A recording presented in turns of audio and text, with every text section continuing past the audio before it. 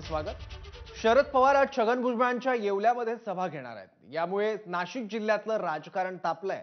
एकोणीसशे एक्क्याण्णवमध्ये शिवसेना सोडल्यावर भुजबळ काँग्रेसमध्ये गेले आणि नंतर एकोणीसशे नव्याण्णव साली शरद पवारांसोबत राष्ट्रवादीत गेले.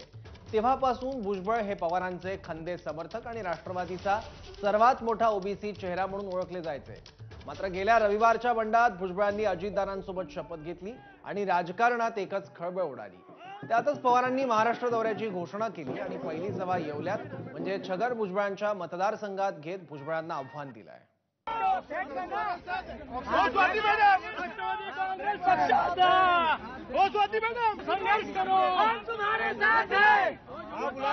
पवारांची आज येवल्यात सभा आहे. भुजबळांच्या येवल्यात शरद पवार हे सभा घेणार आहेत. छगन भुजबळ यांनी एकोणीसशे एक्क्याण्णव साली जेव्हा शिवसेनेला रामराम केलं त्यानंतर ते काँग्रेस पक्षात दाखल झाले. आणि त्यानंतर एकोणीसशे नव्याण्णव सोबत एकोणीसशे नव्याण्णवमध्ये शरद पवारांनी जेव्हा राष्ट्रवादीची स्थापना केली तेव्हापासून ते शरद पवार यांचे खंदे समर्थक मानले जातात. जवळपास बत्तीस वर्ष त्यांनी शरद पवार यांची साथ दिलेली आहे प्रामाणिकपणे.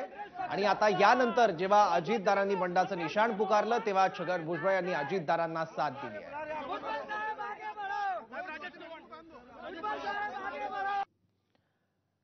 आणि आता शरद पवारांचा ताफा काही वेळात येवल्यामध्ये पोहोचेल. या ताफ्यासोबत आपले प्रतिनिधी राहुल कुलकर्णी आहे. राहुल हा ताफा येवल्याकडे मार्गक्रमण करताय तिथे सभा घेताना पवारांच्या सभेला प्रतिसाद कसा मिळतोय दिसेल. पण या सगळ्या प्रवासादरम्यान लोकांचा प्रतिसाद कसा दिसतोय आणि काय अंदाज या सगळ्या सभेबद्दल?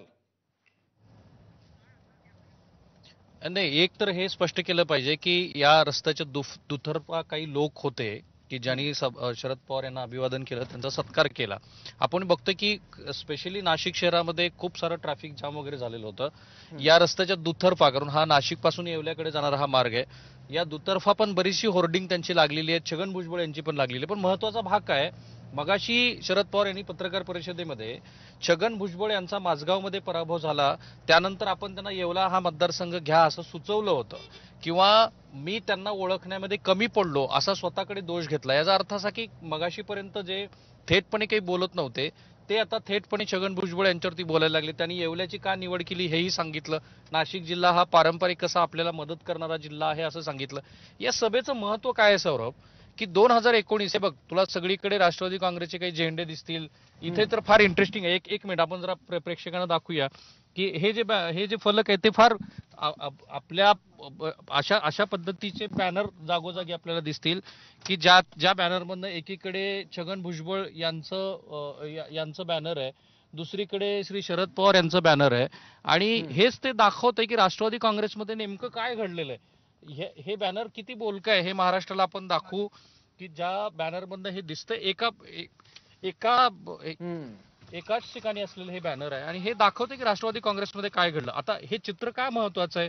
पलीकडे छगन भुजबळ आहेत की ज्यांनी राष्ट्रवादी काँग्रेसची स्थापना झाल्यानंतर पहिल्यांदा शरद पवार यांची साथ घेतली. आता छगन भुजबळ हेच पहिले आहेत की ज्यांनी शरद पवार यांच्या विरोधामध्ये भाषण जोरदार केलं.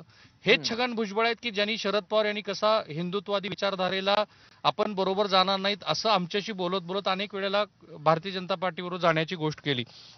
माझा सांगायचा मुद्दा हा आहे की यातनं काय होणार आहे?